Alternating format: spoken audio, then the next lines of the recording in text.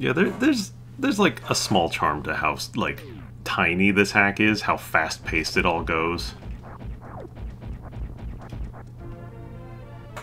And like for people who played the original enough, even though the rooms are moved around, you can still generally tell what like room was what in some places. Like this one is by the this is the room like near the Brinstar Crateria elevator. That um on the opposite side it has like a reserve tank and some other stuff. Yeah, this is the room that makes you run. Yeah, it makes you run through it, or you can mock ball through it if you've got sequence break mind.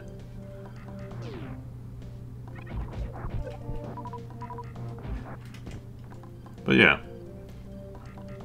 Some of them I don't know, but I like how you say sequence break mind as if it's like an illness. like, I'm sorry. You've got sequence break. It's fatal.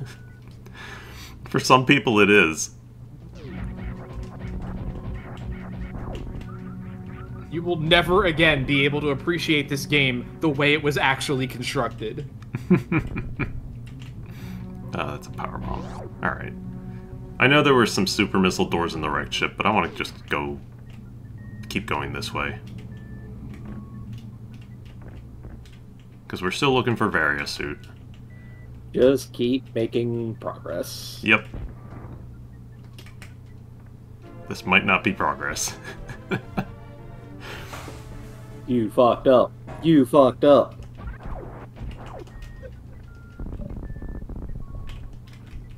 Wait. they were backwards. Okay, sequence break brain is one thing. Just like picking out random tiles brain is a different a different thing.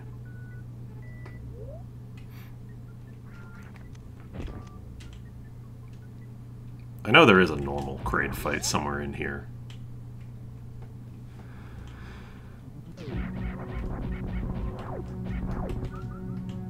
Um, but there's no real reason to go up to the ship.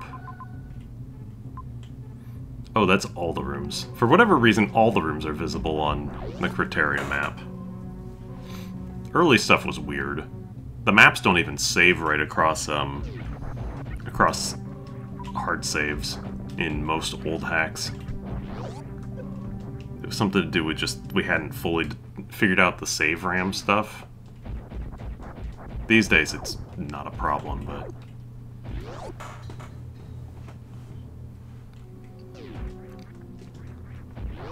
Kind of fun as a little time capsule.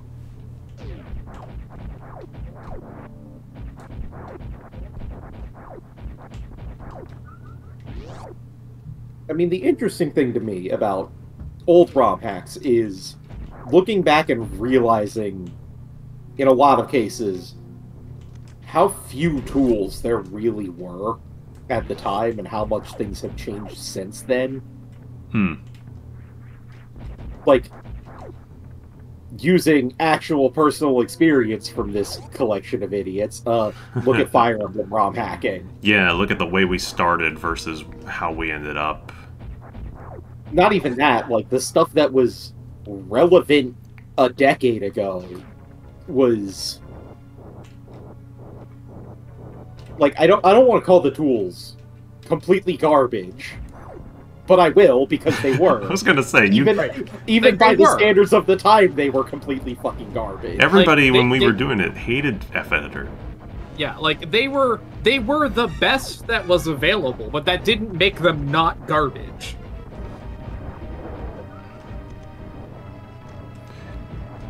Yeah, it was. Uh, it was dire.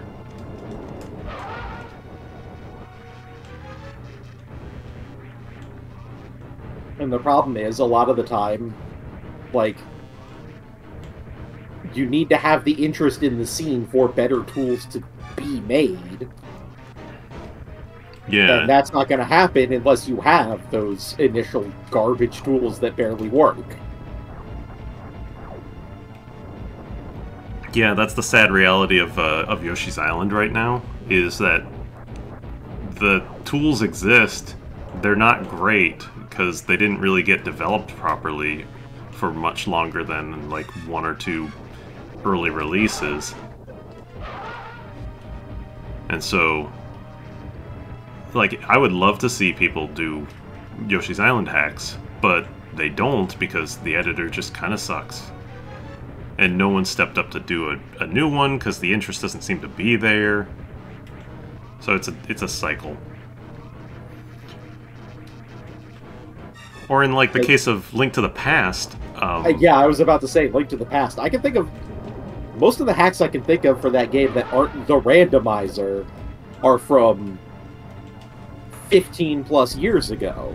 Yeah, I think a lot of what happened in that case is just, um, I feel like interest that would have gone into hacking Link to the Past largely went into like Zelda Classic. yeah, that's what I was gonna say.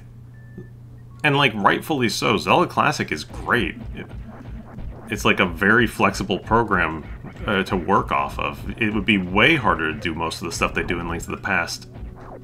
In or no, it'd be way harder to do the sort of stuff that gets done in Zelda Classic in Link to the Past. So why not? Meanwhile, Mario World, like, the interest has always been there for hacking that game, and as far as I can tell, Mario the World tools is basically every the tools improve basically every year in some way or another. Yeah, like you like can do like literally anything in Mario World at this point. Yeah, and like Fusoya is still around. Like, problem, you know, people got problems with the whole um, doesn't refuses to open source the editor and, or, and like stuff like that. But like, yeah, he doesn't have any any obligation to, but he still does like all of. He does keep it updated. He adds some new features. And like it's been over 20 years at this point that the the thing is going on. So like it's just impressive that it keeps going. That he keeps maintaining it. And that's also the fact that he keeps maintaining it is part of why it's so difficult, I think, for um A different editor to come in and yeah, exactly. Oh, okay. That okay, that one's a little lazy.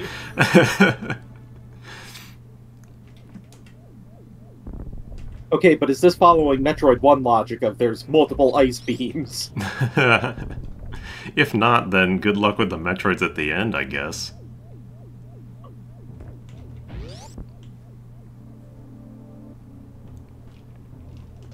But yeah, no, as a uh as a Donkey Kong player of I was gonna say of some renown, but you know Sure, only, I'm only semi joking when I say that I am most of the English uh, ROM hacking scene. Yeah. Uh, th- Mario World hacking makes me extremely jealous because there is just nothing, comparatively speaking. hmm but also the the interest isn't there for whatever reason. Well, the interest isn't there because the tools are awful to use. They're really hard to figure out. I don't know. It's just it is weird. But also, how many people are realistically clamoring for Donkey Kong Country ROM hacks? You know, Uh, some people are. I mean, the thing is, if the tool exists, people will come and do it. Consider consider the resurgence in the uh, the Fire Emblem community, like FEBuilder. oh yeah, once the current iteration of uh, the tools. Yeah, Builder is objectively an amazing program for the scene. Like, without it, you wouldn't have what you have now with people all over the place doing stuff. Like, it is in the middle of, honestly, I would I would put it roughly equivalent to like a Mario hacking renaissance. Like, it is so good for for that community. Right, and yeah, and yeah, it's there's the whole uh, chicken and egg thing where you know people don't want to update the tools because nobody has any interest in the scene, but nobody has any interest in the scene because the tools are garbage. Yeah, so Yeah. it's like 7743 came out of nowhere with Builder, and suddenly well, now the tools are good. We can, people can make stuff. Although there's oh, there there is potentially the argument to be made that Builder wouldn't have existed had uh whatever the hell that the the um Zelda Classic version Oh, XNA? XNA, yeah, had that not been the complete shit show that it was. Maybe? I appear to have messed up the, uh, the screen scroll slightly. Huh. This may be... This may cause problems. Uh-oh. Oh, Uh, hmm, maybe- that seems incorrect. Uh-oh. You You know, I was joking earlier about being on too good an emulator. I might be in trouble here. Because as I said... no, this isn't an emulator thing. This is a matter of the screens scrolling improperly. Um, like, uh, the... Just the scrolls... The way the camera is set, not functioning properly. But uh, I appear...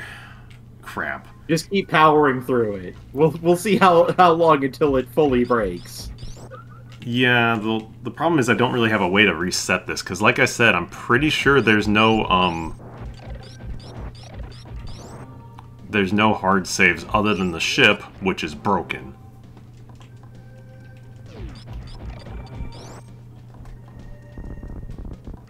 So um, I don't know. Are we gonna have some weird like Mario 3 scrolling going on? Maybe a f- hard reset of the thing? No. I don't know, maybe I can go back to the room where it broke and remanipulate.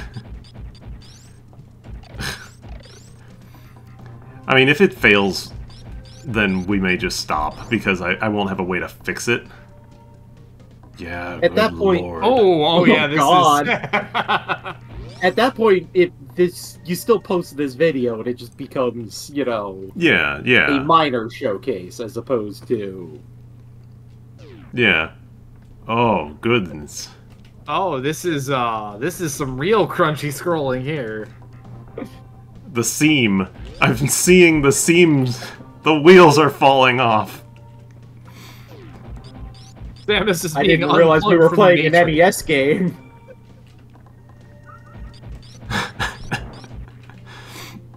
Goodness. Okay, so now what you need to do is have Yoshi eat the shell on Mm, the exact same frame he's eating something else. You're right. Oh, I, we, we might have bullshit our way into making it work. Where's the... Can't I jump here? There. I mean, we're not making it work yet. We might just be over here making it worse. Because this was the room that it broke.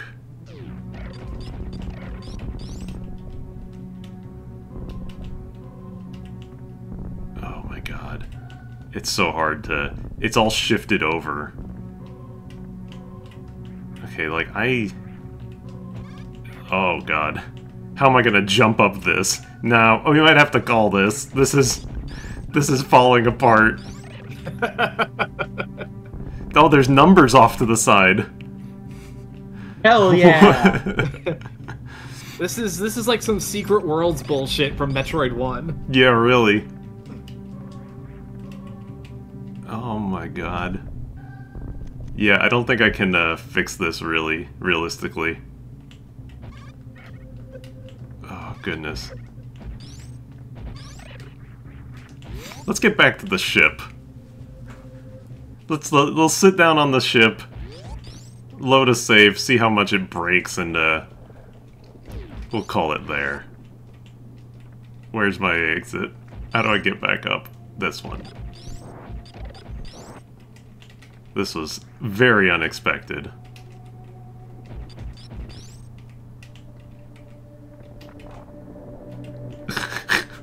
Help! I don't know where I am. Oh god, it's vertically wrong too. Oh, this is excellent. Oh man. Oh, Where am I? This, This rules. 10 out of 10, no notes. Ooh, beautiful.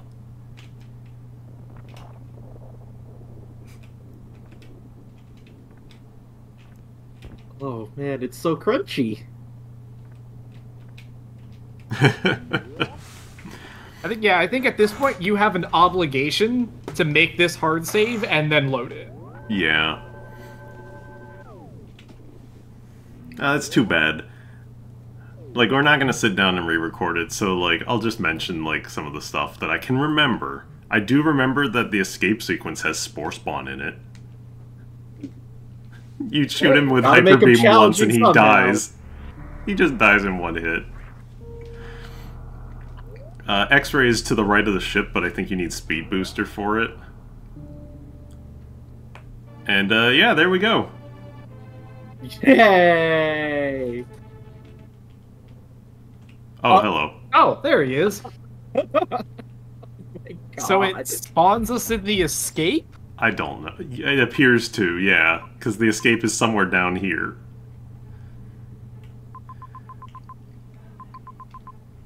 Video games. Also, the map is broken. Use it as you can see. Oh, Well, uh, yeah, I guess. Okay, there's his room. Uh, I don't know where I am. Wait. Is that the Metroid or is that supposed to be Spore Spawn? It's probably about. It's probably just a matter of like the uh, the the sound effects being wrong for this set. Yeah. Yeah, that's whatever whatever wherever we actually are, Spore Spawn is attempting to call a sound effect and it's using the Metroid sound effect instead. probably because Mother Brain is loaded as that flashing bit there, isn't it? No, it's just probably calling the wrong sound effect. I don't know. That that's just some spikes going through a pallet cycle, honestly. Anyway, that's I think this will do it for us. Uh, this was an, an impromptu end to uh, searching for items. It's not that bad. Go go go. If you're interested, go and play it yourself. It's a quick one. You can finish it in less than an afternoon. But um, yeah, it's actually still good for being old, and just uh, make sure that you don't hit the same weird scroll that I did somehow. anyway, thanks for watching, and uh, we'll see you next time with whatever, whatever my next larger project is.